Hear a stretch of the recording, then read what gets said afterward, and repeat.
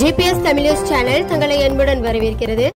ஐக்கிய அரபு அமீரகத்தில் உள்ள வெளிநாட்டவர்கள் குறிப்பிட்ட ஒரு இடத்தில் இருப்பதற்கு தடை விதிக்கப்பட்டுள்ளதாக வெளியாகியுள்ள செய்திகள் உள்ளிட்ட ஐக்கிய அரபு அமீரகத்தின் செய்திகள் குறித்து காணலாம். செய்திகளை முழுவதும் காணவும்.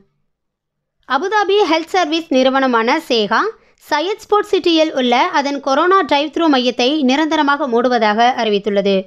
கொரோனா தொற்றினை பரவியதைத் தொடர்ந்து அமீரகத்திலேயே முதன் முதலாக அமைக்கப்பட்ட டிரைவ் த்ரூ சோதனை மையம் இது என்பது குறிப்பிடத்தக்கது. தற்போது நாட்டில் கொரோனா நோய் தொற்றானது மிகவும் குறைந்ததை அடுத்து இந்த முடிவு எடுக்கப்பட்டுள்ளதாகவும் கூறப்படுகின்றது.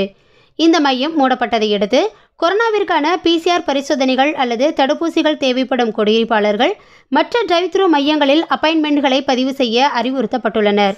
அபுதாபியின் சுகாதாரத்துறை அமைச்சகம் சமீபத்தில் அபுதாபியில் உள்ள அனைத்து தனியார் மருத்துவமனைகளும் கொரோனா நோயாளி இல்லாத மருத்துவமனைகள் என்று அறிவித்திருந்தது.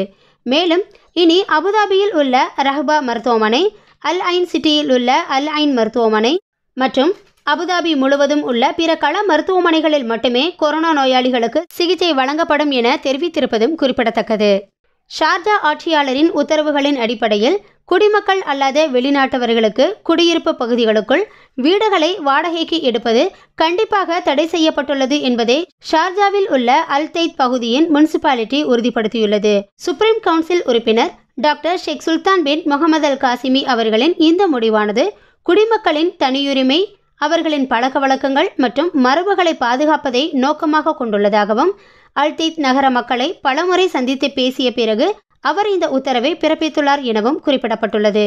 மேலும் அல்தெய்த் நகராட்சியின் இயக்குனர் இது குறித்து கூறுகையில் குடிமக்கள் அல்லாதவர்கள் நகரத்தின் எட்டு குடியிருப்பு பகுதிகளிலும் வீடுகளை வாடகைக்கு எடுப்பது தடை செய்யப்பட்டுள்ளது என்று தெரிவித்துள்ளார்.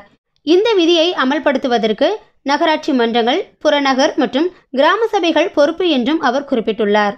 மேலும் இந்த பகுதிகளில் வெளிநாட்டவர் வசிப்பதாக குறித்து புகார்கள் வந்தால் ஷேக் சுல்தான் அவர்களின் இந்த உத்தரவு குறித்து முனிசிபாலிட்டியானது வீட்டு உரிமையாளர்களுக்கு தெரிவிக்கும் என்று கூறியதோடு நகரத்தில் வாடகை வீடுகளை நிறுவுவதற்கான திட்டத்தை தொடங்குவதற்கு சம்பந்தப்பட்ட அதிகாரிகளையும் வலியுறுத்தியுள்ளார். அமீரகம் முழுவதிலும் உள்ள மசூதிகளில் மழை வேண்டி தொழுகை நடத்தும்படி அமீரகத்தின் தலைவரும் அபுதாபியின் ஆட்சியாளருமான பெருமதிப்பிற்குரிய ஷேக் கலிஃபா பின் சயீத் அல் நக்யான் அவர்கள் கடந்த வாரம் உத்தரவிட்டிருந்தார். அதன்படி இன்று அமீரகம் முழுவதிலும் சலாத்தல் இஸ்திகா எனப்படும் மழைவேண்டி தொழுகையானது நடைபெற்றது.